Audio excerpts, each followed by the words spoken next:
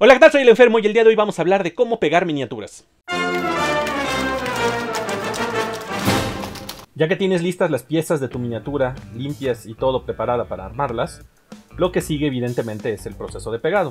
Para eso, dependiendo del material que trabajes, vas a utilizar ya sean los cianoacrilatos, superglue, superpegamento, pegamento de contacto, etc. O también puedes usar los cementos plásticos, que como su nombre lo indica, sirven para pegar miniaturas de plástico. En el caso de miniaturas de plástico, como ya mencioné, una de las opciones es utilizar cemento plástico. Esta es la que a mí en lo personal me gusta más, porque al momento de hacer la unión, tú vas a tener un pegado perfecto. En realidad lo que hace el cemento es derrite el plástico y al momento de que seca, pues las dos piezas quedan fundidas. Entonces esto te asegura que vas a tener un pegado prácticamente perfecto. Para aplicar el cemento hay distintos modelos, por ejemplo estos que son en brocha, que se aplican así con la brochita esta directamente en la pieza. De estos vas a conseguir de muchas marcas variadas y distintas consistencias, hay algunos que son más suaves y el aplicador es más fino, y te va a servir para piezas más pequeñas. De la misma manera hay en este tipo de presentaciones con aplicadores muy finos, que son mis favoritos, o aplicadores normales para cuando no tienes que preocuparte tanto por el detalle. Para aplicar el cemento líquido es muy simple, únicamente tienes que destapar tu aplicador, poner la pieza donde vas a unir una ligera cantidad, con cuidado de no chorrearlo,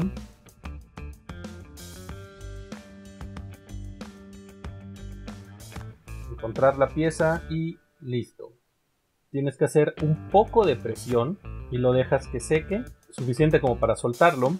Aún así, no te confíes porque en este momento no está a toda la unión. Este se tarda un rato precisamente en lo que el plástico seca, así que no es recomendable manipularlo justamente después de la aplicación.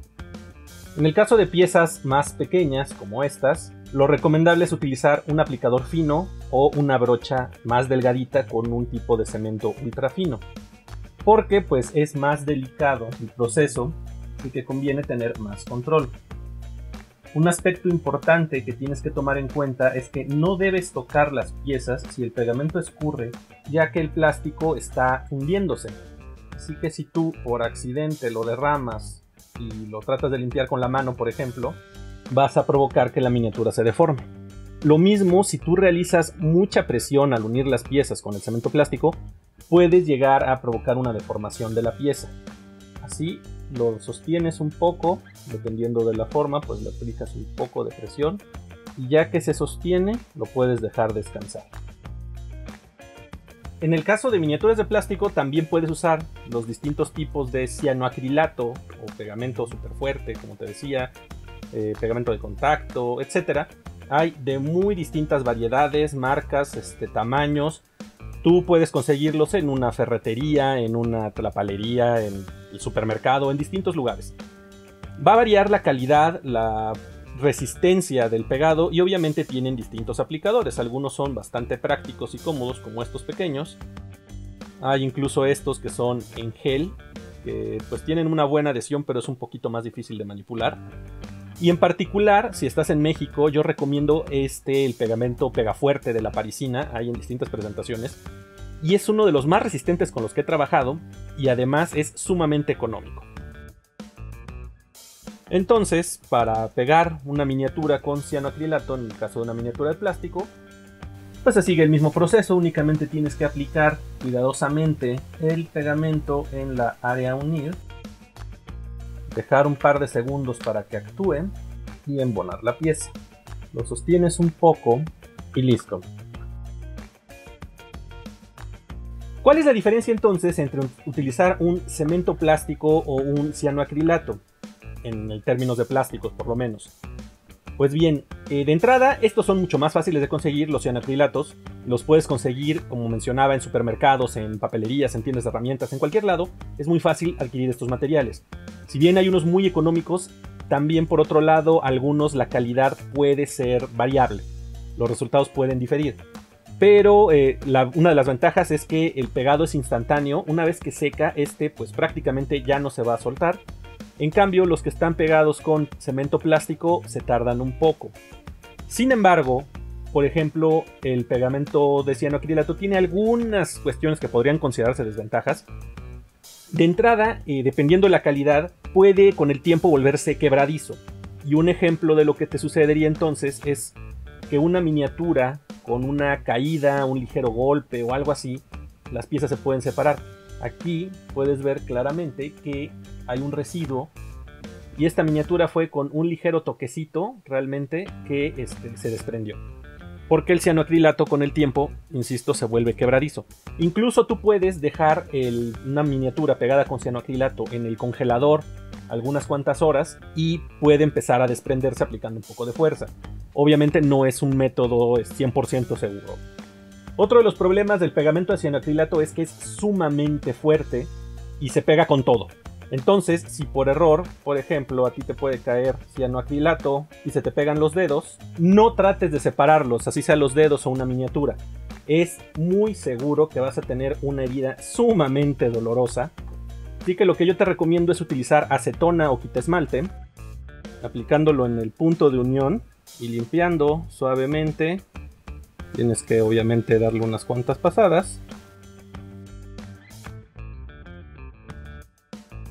Tendrás que, obviamente, dependiendo de la cantidad de daño, aplicarlo y esto removerá el adhesivo. Obviamente tienes que tener cuidado porque la acetona mancha y puede dañar las miniaturas. Otra de las diferencias de trabajar con cemento plástico respecto al cianoacrilato es que en algunos casos y dependiendo de las piezas, las líneas de unión pueden ser menos perceptibles tratándose del cemento plástico, sobre todo si le aplicas la suficiente presión durante mucho tiempo en algunos casos se vuelven casi invisibles. Además, como ya mencioné, es el aspecto de la unión perfecta. Este tipo de piezas, una vez que sellan, va a ser muy difícil que se separen. Claro que tiene algunas condiciones. Tú no puedes aplicar cemento plástico si la pieza ya tiene pintura, por ejemplo, o algún tipo de residuo de otro material, eh, barniz o cualquier otra cosa. El cemento plástico solo funciona en el plástico puro. Y además, bueno, el cemento plástico es un poco más difícil de conseguir. Para este necesitas ir a tiendas especializadas eh, de hobby, de modelismo y demás. Cuando trabajas con miniaturas de metal, en cambio, la única alternativa que tienes es utilizar un cianoacrilato. En este caso, precisamente muchas veces me han preguntado cómo pegar miniaturas de metal. Eh, la mejor alternativa, insisto, es el pegafuerte, ya que este es de muy buena adherencia es muy posible que una vez que utilizaste el pegafuerte y la pieza ya secó, no se desprenda.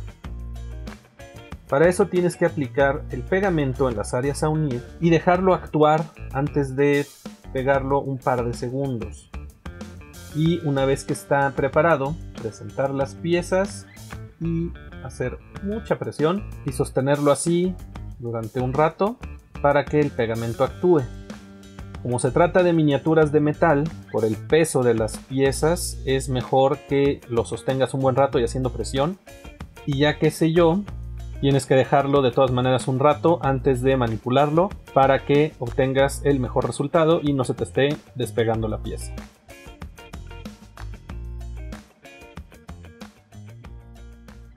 Muchas veces me encuentro en grupos dudas acerca de qué tipo de pegamento funciona mejor o cómo usar tal o cual en determinado tipo de materiales, así que espero que lo que estuvimos revisando ahorita te sea de utilidad si vas iniciando en el hobby. También al respecto una duda que frecuentemente me encuentro es si conviene armar la miniatura completa antes de empezar a pintar o armar por partes e ir pintando. Esto depende completamente de ti, de cómo te funcione mejor. Yo en lo personal lo que hago es ensamblar hasta cierto punto las miniaturas de manera tal que las piezas no me estorben para pintar. Hay veces que un personaje lleva, por ejemplo, una capa o algún accesorio que dificulta meter el pincel, entonces en la medida de lo posible yo procuro dejar esas piezas por separado para que el proceso de pintura sea mucho más sencillo y no estés ensuciando una parte cuando estás trabajando otra, que de repente pues puede ser dar muchos pasos para llegar a un buen resultado con tus miniaturas. Sin embargo, hay detalles que tienes que tomar en cuenta como que al momento de trabajar sobre las piezas por separado, va a ser muy probable que cubras totalmente la pieza de la miniatura y entonces no puedas usar eh, cemento líquido o tendrías que hacer un proceso de enmascarillado y todo, que puede ser complicado dependiendo de la forma de la miniatura, ¿no? Así que simplemente toma en cuenta estos detalles, pero como mencioné, sobre todo trabaja de la forma que te acomode mejor a ti. Te invito a que le eches un ojo a los otros videos que subí acerca del tema, los de recorte de miniaturas y limpieza. Los dos están aquí arriba los enlaces. Y también si estás empezando en el hobby, date una vuelta por el playlist de tutoriales para miniaturas, donde hablo de pintura, eh, textura de peanas, armado y otras cosas que te pueden ser de utilidad si vas empezando en el hobby. Como siempre, cualquier duda déjamela en los comentarios y escríbeme qué otros temas te gustaría que aborden estos videos. Si crees que es de utilidad, déjale un me gusta, pero sobre todo, compárteselo a alguien que esté iniciando en el hobby para que le sea mucho más fácil el trabajo de armar sus miniaturas. Muchas gracias y nos vemos aquí la próxima semana. Adiós. Como siempre, muchas gracias por ver este video, espero que te haya gustado y sobre todo que hayas encontrado algo útil. Si es así, no olvides compartírselo a algún amigo y darle me gusta. Además, suscríbete y activa la campanita para que te lleguen notificaciones cuando subo nuevos videos o cuando hago mis transmisiones en vivo. Si disfrutas los contenidos que hago en este canal y en otros medios, puedes considerar apoyarme a través de Patreon con una suscripción mensual o con un donativo único a través de PayPal. Esto es para que yo pueda mejorar mi equipo y comprar nuevos juegos para que pueda venirse a reseñar y como siempre todo será muy agradecido. Recuerda que me encuentras en redes sociales como Enfermo por los Juegos, en Facebook y en Instagram, y que tengo mi podcast que puedes escuchar en cualquiera de las principales plataformas. Muchas gracias y nos vemos aquí la próxima semana. Adiós.